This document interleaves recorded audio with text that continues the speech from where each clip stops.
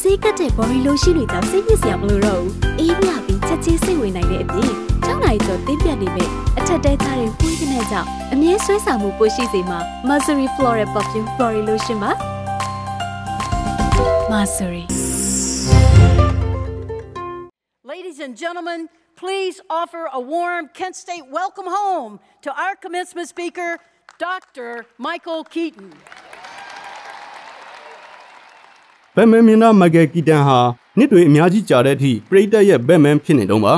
သူဟာမေလ12ရက်နေ့ကပြုလုပ်ခဲ့တဲ့ Kent State တက္ကသိုလ်ရဲ့ပွဲနင်းတပင်ပွဲမှာကျောင်းသားတွေအတွက်မိန့်ခွန်းပြောခဲ့ပါသေးတယ်။အော်စကာစီးဝင်တယောက်ဖြစ်တဲ့မိုက်ကယ်ကီတန်ဟာကျောင်းသားတွေကိုလေးစားမှုရှိကြဖို့ကိုကိုကိုလေးစားဖို့နဲ့ရဲရင်ကြဖို့အကြံပေးခဲ့ပါတယ်။မိန့်ခွန်းပြောအပြီးမှာတော့ Kent State တက္ကသိုလ်ဥက္ကဋ္ဌပေးအပ်တဲ့ဂုံပြူတထုပြားကိုလက်ခံရယူခဲ့ပါသေးတယ်။ အဲ့ဒီနောက်သူပြိတ္တတွေကိုကျွန်တော်ဟာဘက်မန်ပါဆိုတဲ့စကားနဲ့ခြံထားခဲ့ခြင်းတယ်လို့ပြောခဲ့ပါသေးတယ်။ And being here and welcome home. Thank you very much.